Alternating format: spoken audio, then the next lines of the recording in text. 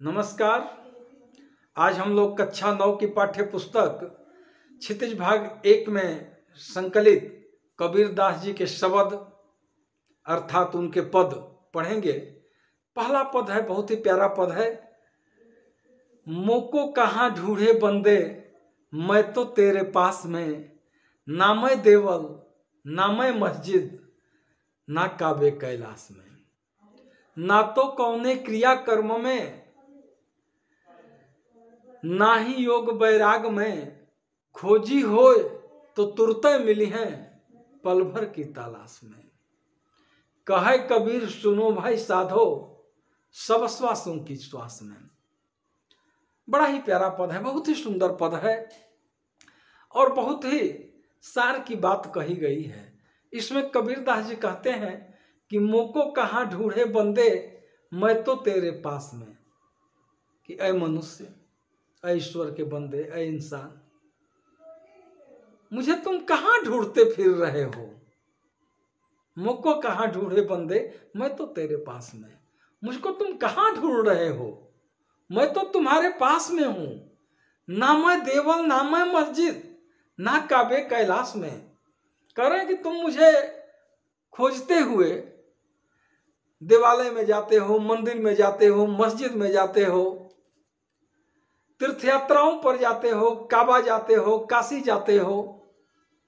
लेकिन मुझे इन जगहों पर ढूँढने की कोई आवश्यकता नहीं है। मुझे तुम बेकार में इधर उधर ढूंढ रहे हो। मुझको कहाँ ढूंढे बंदे मैं तो तेरे पास में? क्यों मंदिर में, मस्जिद में, काबा में, काशी में खोज रहे हो? मैं तो तुम्हारे पास में हूँ। ना तो कौनो क्रिया कर्म में, ना ही योग बैराग में खोजी हो तो तुरत मिली है पल भर की तलाश में। न मैं किसी क्रिया में हूँ, न किसी कर्म में हूँ, यानी न मैं योग में हूँ। तमाम तरह की योगिक क्रियाएँ लोग करते हैं, क्रियाकलाप करते हैं, तंत्र साधना करते हैं, पूजा पाठ लोग करते हैं। तो न मैं किसी क्रिया में हूँ, न किसी कर्म में हूँ। कुछ लोग योग का सहारा लेते हैं ईश्वर को पाने के लिए।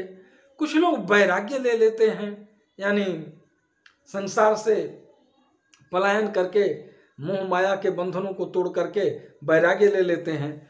तो कह रहे हैं कि न मैं किसी क्रिया में हूँ, न किसी किसी, न मैं किसी कर्म में हूँ, न मैं योग से मिल सकता हूँ और नहीं, मैं वैराग्य के द्वारा प्राप्त किया जा सकता हूँ। अगर ये तुम सोचते हो कि संसार से भाग करके, वैराग्य लेकर के मुझे प्राप्त कर सकते हो तो मैं उस तरह भी प्राप्त नहीं हो सकता हूँ।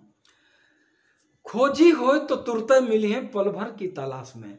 अगर तुम सच्चे खोजी हो, सच्चे मन से मुझे पाना चाह रहे हो तो मैं तुम्हें पल भर की तलाश में पल भर की खोज में मिल जाऊँगा। खोजी हो तो तुरंत मिली है पल भर की तलाश में। अगर कोई सच्चा खोजने वाला है, अगर कोई सच्चे हृदय से मुझे खोजेगा मुझे ढूंढेगा तो मैं तो उसे पल भर की तलाश में, उसने खोजना शुरू किया नहीं कि मैं मिल जाऊँगा। क्यों? क्योंकि कहा है, कबीर सुनो भाई साधो, सब श्वासों के श्वास में। क्योंकि कबीर दास जी कहते हैं कि हे सज्जनों, हे संतों, हे मनुष्यों, सुनो, मैं मंदिर मस्जिद काबा काशी कहीं नहीं हूँ। योग से, वैराग से क्रिया कर्म से कर्म कांड से पूजा पाठ से मैं मिलने वाला नहीं हूँ। अगर तुम सच्चे खोजी हो, सच्चे मन से हृदय को खो, सच्चे हृदय से ईश्वर को खोज रहे हो, मुझे खोज रहे हो तो मैं तुम्हें पल भर की तलाश में मिल जाऊँगा। कबीरदास जी कहते हैं कि, हे संतो, सुनो, ईश्वर सब श्वासों की श्वास में, ईश्वर हमारे अंदर है, वह हमारी एक एक श्वास में समाया हुआ है। अगर हम महसूस करें तो हर आती जाती श्वास के साथ हमें ईश्वर का साक्षात्कार होगा। तो इस पद में कबीरदास जी ये कहते हैं कि ईश्वर कहीं बाहर नहीं है। ईश्वर किसी मंदिर में नहीं मिलता है, किसी मस्जिद में नहीं मिलता है तीर्थ यात्राओं में नहीं मिलता है कि आप मंदिर में जाकर के ईश्वर को खोज लें, मस्जिद में जाकर खोज लें, किसी तीर्थ यात्रा में निकल जाए, काशी चले जाए, काबा चले जाए तो इन जगहों पर ईश्वर नहीं मिलता है। तमाम तरह के क्रियाकलाप पूजा पाठ यज्ञ, हवन, योग, वैराग, इस सब के द्वारा भी ईश्वर नहीं मिलता है। क्योंकि ईश्वर हमारे अंदर है।